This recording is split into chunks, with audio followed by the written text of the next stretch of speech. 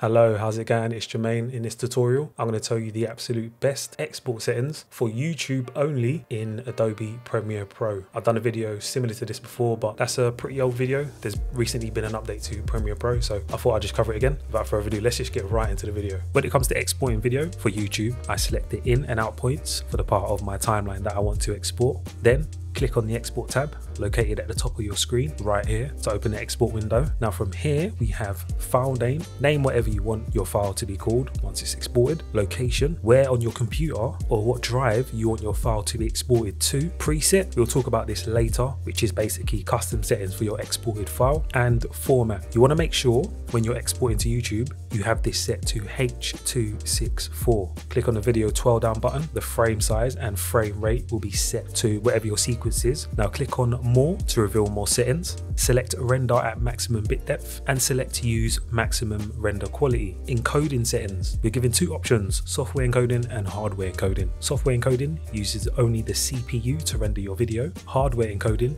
uses the GPU to export your video.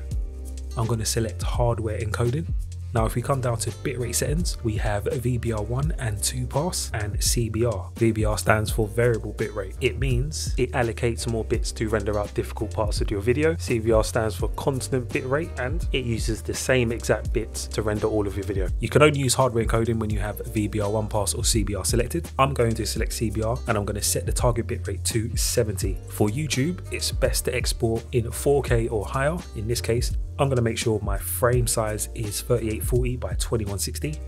Click on the three buttons next to custom and select save preset. And I'm going to name it YouTube 4K CBR 70. Click OK.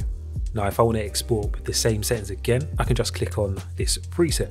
Next, down in the bottom right, you can either choose to export in Media Encoder, which will allow you to continue to use Premiere Pro to edit while your sequence renders in Media Encoder, or you can click on Export. Click Export, in which you will see this tab pop up showing how long it will take to render your video. You won't be able to use Premiere Pro whilst this tab is up. And that's the end of the tutorial. My name is Jermaine, and I'll see you again in the next one.